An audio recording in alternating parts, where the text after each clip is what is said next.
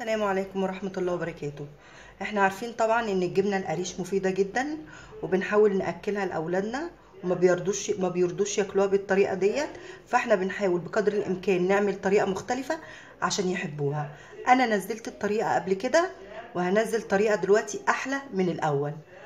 أنا عندي هنا جبنة ريكفور قطع صغيرة مش كبيرة وعندي الجبنة ال- القريش وعندي هنا جبنة شيدر مع جبنة رومي كانت عندي في الفريزر وكوباية لبن.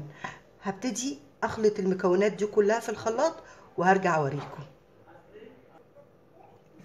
زي ما أنتوا شايفين كده حطيت المكونات كلها اللي عندي اللبن والجبنة ال- الريكفور وجبنة الشيدر والجبنة ال- آه، القريش كلهم كل الحاجات المكونات اللي أنا قلت لكم عليها حطيتها في الخلاط وهضربها وهنزل عليها.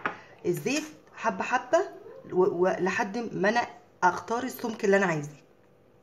كده هضرب كل الخليط مع بعضه وهحط هنزل عليهم الزيت شوية شوية لحد ما اوصل للسمك اللي أنا عايزاه وهرجع اوريها لكم. نبتدي نضربهم في الخلاط.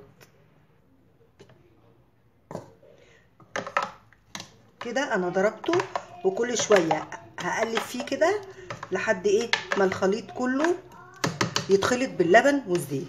وبنزل شوية شوية الزيت كده أنا خلصت بقت بالسمك ده وطبعا الزيت هيخليها تتقل لما نحطها دلوقتي في التلاجة. وشفتوا الكمية بقت قد إيه. بقت ال- الكمية كبيرة جدا. بسم الله ما شاء الله أهي. آه، هحطها دلوقتي في ال- الطبق البلاستيك وهوريها لكم. كده بقى بقت عندي جبنة جاهزة اهي هشيلها واحطها في التلاجة ولما عاوز اعمل سندوتشات اطلعها بتبقى تقيلة وبتبقى حلوة جدا وبعملها كل يوم واولادي رايحين المدرسة يا رب يكون الوصفة النهارده عجبتكم والطريقة بتاعتي عجبتكم وما تنسوش like و share و subscribe شكرا والسلام عليكم ورحمة الله وبركاته.